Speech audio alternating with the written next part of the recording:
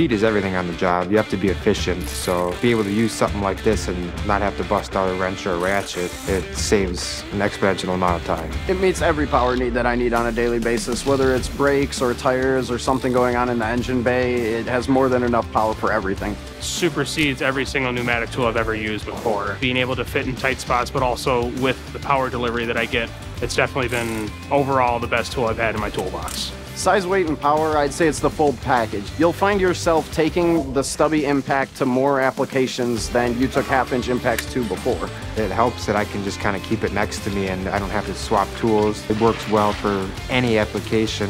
I'll never use pneumatic tool again. It's just overall what I would always reach for compared to a pneumatic tool. When I grab my stubby, I know it's going to perform.